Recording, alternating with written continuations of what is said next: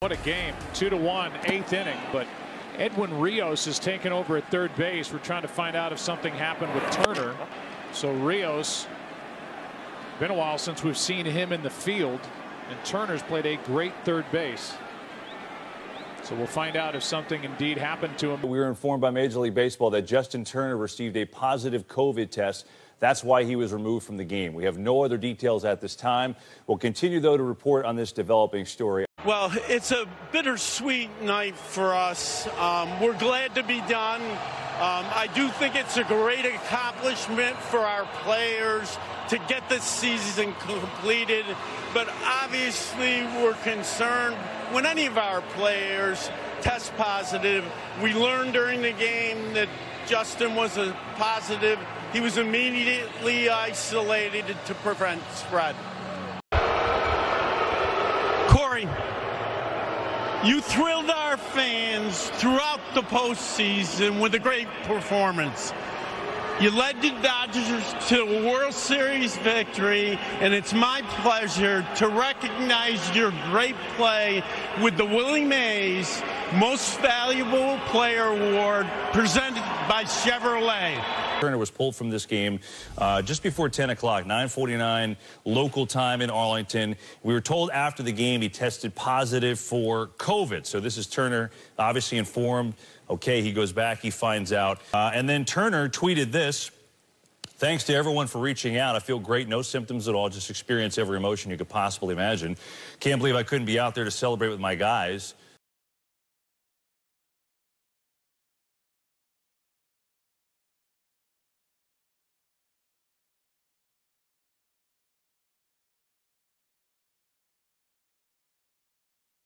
Why the, the league, the team wouldn't, What the league the really is responsible at this point to have this And they would have had to go through all the testing and contact tracing and all the things that they were doing during the regular season. This was in the middle of the World Series. Talk about the Dodgers bullpen, and specifically, if I'm going to pick one guy, it's Julio Urias. Mm-hmm. I, I mean, I hate to start with this, but I just have to ask because we're watching the, the the images of you guys taking the team picture and stuff. Just with Justin Turner, it, has anything changed with him? You know what? I, I all I know is that I had I had to take him out of the game in the seventh inning, which was crazy, and he tested positive. And I don't know if it's false positive. I have no idea. He's behind me right now talking to Andrew, and I don't know what the heck they're talking about. Uh, he was in the team picture.